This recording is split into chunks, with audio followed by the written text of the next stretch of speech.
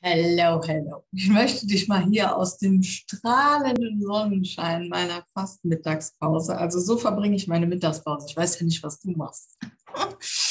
Hm, da möchte ich dich mal fragen, etwas, was mich seit, äh, seit Jahren umtreibt, und zwar das gestörte, in meinen Augen, das bei vielen Menschen gestörte Verhältnis zwischen Geschenk und Commitment.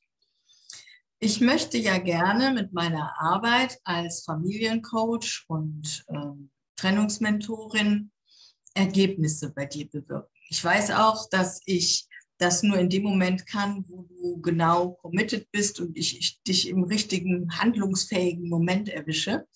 Die Frage ist aber, ähm, wenn ich so zurückblicke bei mir, wenn ich dir ein Angebot mache, was richtig, richtig günstig ist, fühlst du dich dann so committed, dass du da richtig ranklotzt, bist du dir bewusst, welches Geschenk du da empfangen hast.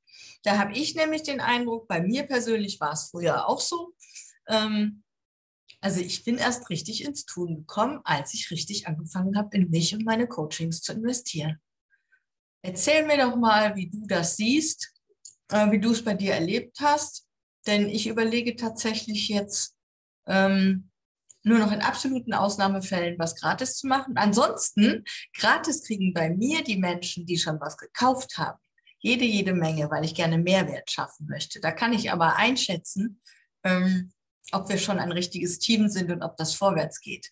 Und ja, ich hätte gerne mal deine Meinung dazu. Da freue ich mich sehr drauf. Ich wünsche dir noch einen wunderbaren Tag, deine Paragraphen, Silvia. Wenn du Fragen hast oder wenn du gleich ein Gespräch vereinbaren willst, dann mach das bitte einfach auf der Homepage über die Buttons, die sich da befinden. Ich wünsche dir noch einen wunderbaren Tag. Bleib gesund.